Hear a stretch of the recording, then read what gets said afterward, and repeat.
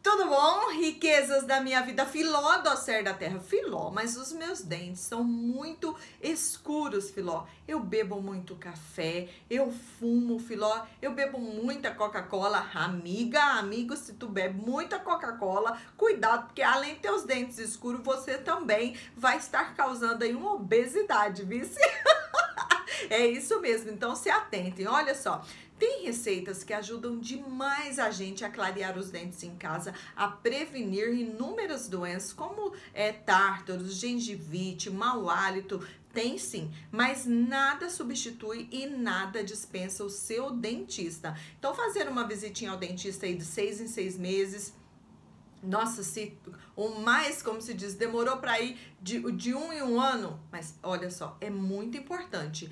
Vai de seis em seis meses, que é o mais correto, porque o seu dentista pode te orientar e prevenir aí inúmeras doenças já deixa um gostei, se inscreva no canal, enche de like porque o vídeo está maravilhoso. É uma receitinha que vai te ajudar a clarear os dentes aí, evitar tártaros e gengivite em casa. Olha só, você pega assim um recipiente de vidro, você pega uma escovinha que você tem aí velhinha e aí nós vamos usar, você vai precisar de um creme dental, não precisa ser essa marca. A única coisa que eu quero te pedir é que precisa ser branquinho, ó, tá vendo? Ó, eu vou pôr aqui a um dedinho, ó, tá vendo? Ó, que a gente põe do creme dental. Então, você colocou aqui, ó, coloquei aqui no recipiente. Aí, nós vamos usar aqui uma colher bem rasinha de café do bicarbonato de sódio. Essa receita você vai fazer a cada 15 dias. Colocou o bicarbonato de sódio.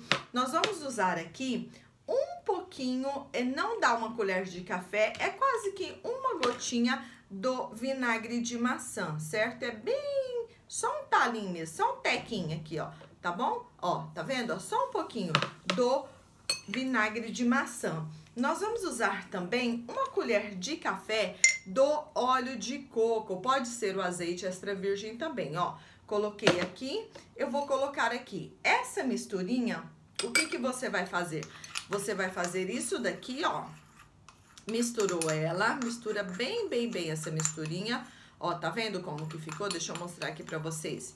Ela vai ficar assim, certo? Ó, tá vendo? Ó, misturinha dá um dedinho na realidade. Aí, o que que você vai fazer?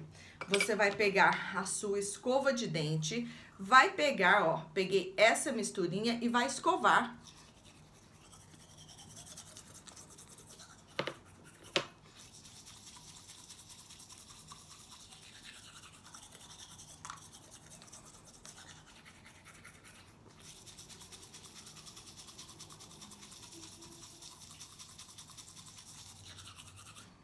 por uns dois minutinhos. Feito isso, você vai enxaguar. Aí na sua casa você pode ficar escovando até por um tempinho a mais. Vocês não têm noção.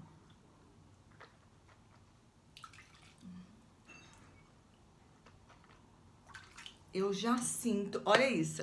Olha. Olha isso, gente.